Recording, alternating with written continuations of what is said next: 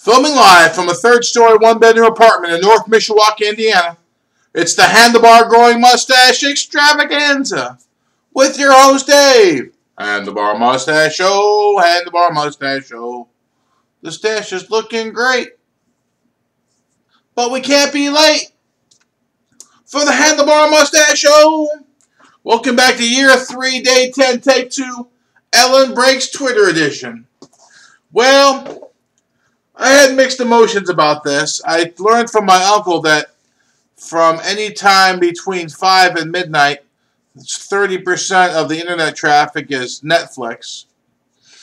So that's a little bit depressing. And then that um, Ellen broke Twitter last night with a couple pictures she took at the Oscars. You know, meanwhile, they're having a full blown revolution in the Ukraine.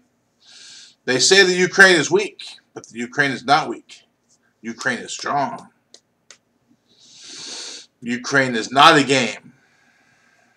Anyway, that's what we learned from Seinfeld. But that's more to my point. You know, we can't have a proper revolution with everybody watching fantasy stuff. I'm not exactly sure we need a revolution, but if we were to need a revolution, we would be in horrible shape for it. Our revolutionary skills would be atrophied. Not very good. Too many cat videos. So, just something to think about. I'm not proposing breaking Twitter myself or actually leading a revolution. Let's be clear here. I've tried that before with my whole Occupy Lighting movement, and that ended in disaster. So, Anyway, I'm just saying we got to keep our muscles strong, just in case. You know, like people work out to keep their heart healthy, or eat a balanced diet. You know, things like that, which I'm not opposed to. I'm just saying, if you're gonna just stay on the couch, not a lot of good things are gonna happen. Of course, if you try a revolution, bad things may happen too. But Eh, all I'm saying is it's complicated.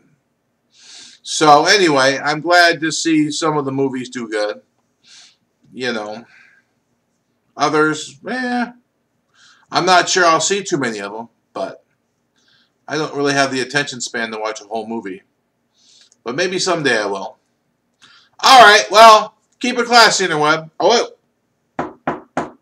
Knock on wood. Keep it classy, interweb.